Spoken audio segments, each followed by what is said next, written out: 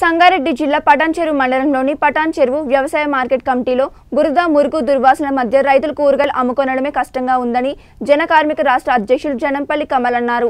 పొట్టకూటి కోసం చుట్టుపక్కల గ్రామాల నుండి కూరగాయలు అమ్ముకోవడం కోసం పేద రైతులు వస్తున్నారని గంటల తరబడి మురుగు వాసనలో వ్యాపారం చేయడం కష్టంగా మారిందని మార్కెట్ కమిటీ నిర్లక్ష్యం వల్ల రైతులు అనారోగ్య పాలవుతున్నారని జనంపల్లి కమల్ అన్నారు.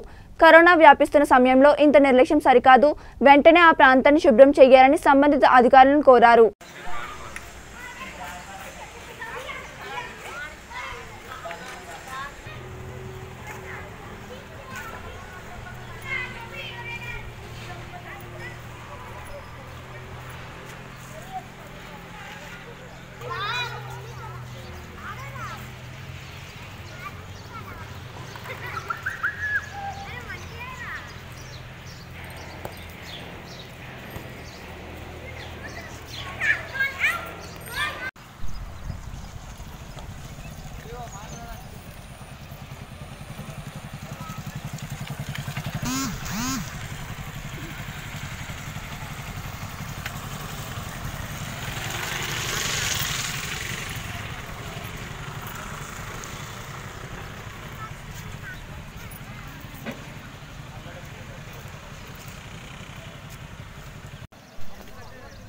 పటాన్చేరు మార్కెట్లో ఇక్కడ కూరగాయలు అమ్ముకునే వారంతా నిరుపేద రైతులు.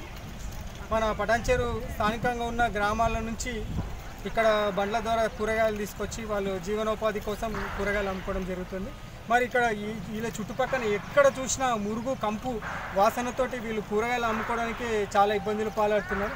మరి ఇంత కరోనా టైంలో ఇంత దుర్వాసన మధ్యలో వీళ్ళు కూరగాయలు అమ్ముకోవడము ఎంత దారుణంగా ఉందంటే మరి స్థానికంగా ఈ మార్కెట్ కమిటీ చైర్మన్ ఎవరో మరి వచ్చి వీళ్ళ ఇబ్బందులు ఏందో దగ్గరుండి చూసి ఈ మురుగు వాసనలో వాళ్ళు కూడా ఒక పది నిమిషాలు నిలబడితే వాళ్ళకి ఇలా బాధ ఏందో అనేది అర్థమవుతుంది.